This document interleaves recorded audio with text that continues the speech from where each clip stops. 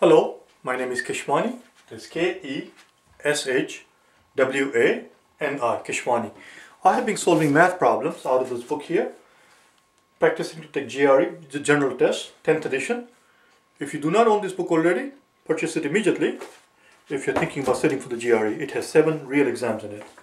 The problem that I'm about to solve is the one that you're going to find on page number 200.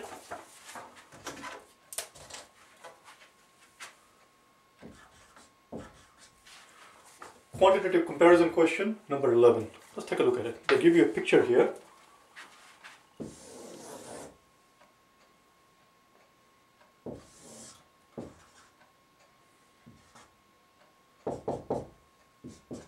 A to B is the diameter because it goes through the center and they tell you that O is the center of the circle and that's how we know if the line is going through the center it is the diameter.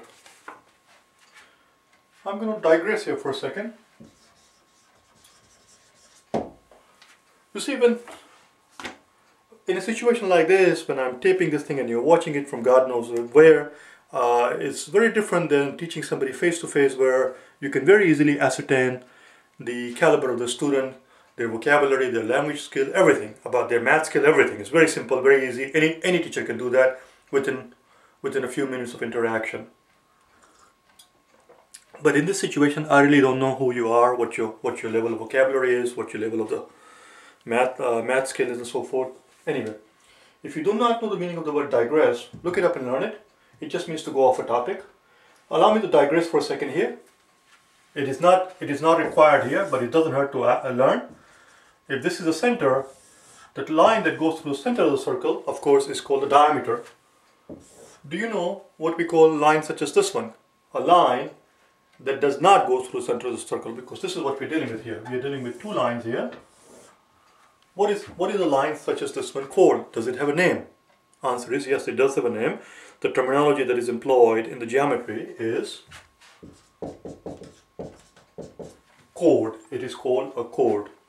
Not that it's required here. It's not required here, but it doesn't hurt to know because uh, some other question they may actually employ that terminology and then it's handy to, to know it.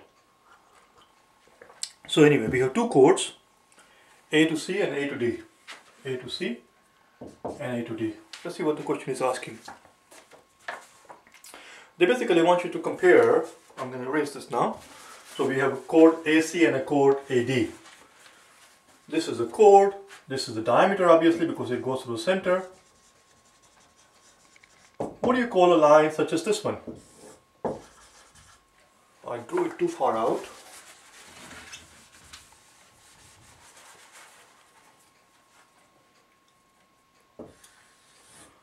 A line that touches a picture, any picture, doesn't have to be circle, anything at all. A line that touches a picture just at one point, only one point. Does it have a name? Of course it does. It is called a tangent. Anyway, enough of the digressions. Let's back to let's get back to what we were talking about. So they wanted to compare the length of the diameter versus versus the average of the length of the chord CB.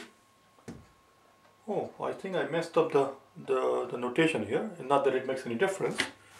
It makes no difference, but anyway.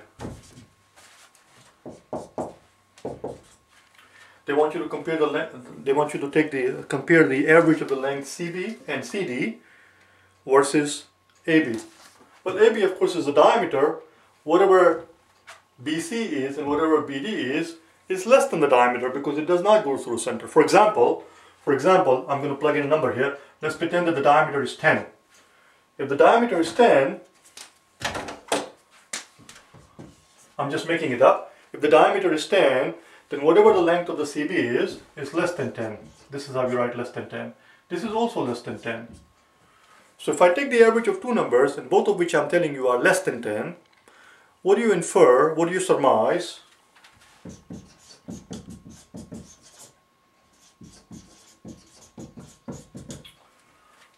about their about their average average of two numbers.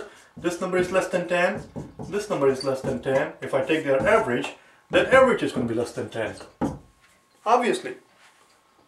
And that's all it is. This is 10 because I'm, I'm pretending that a to b is 10. If a to b is 10, the average of these two numbers is less than 10. The answer is b. That's all. That was the end of it.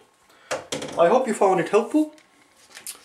If you wish to get hold of me for private tutoring or if you wish to buy the solution manuals to these problems in any of the exams, uh, get hold of me through my uh, through email. Go to my website at www.prep, P-R-E-P, prep, F-O-R-4, G-R-E.com and send me an email. All right? Thanks.